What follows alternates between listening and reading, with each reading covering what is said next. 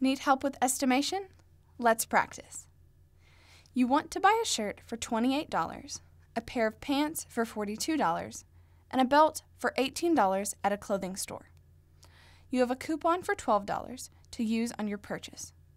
Which of the following is the best estimate for how many dollars you actually need to spend?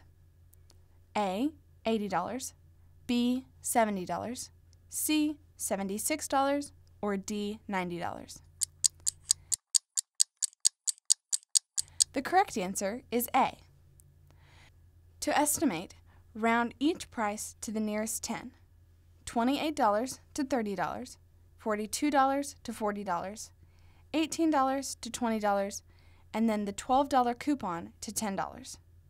Add the rounded prices and subtract the coupon, which gives us an estimated total of $80. My estimate is that you got it right. Let me know how you did in the comments.